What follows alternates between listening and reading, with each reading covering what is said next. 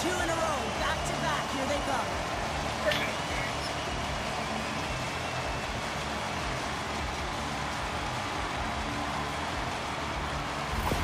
Edmonton's now up by two.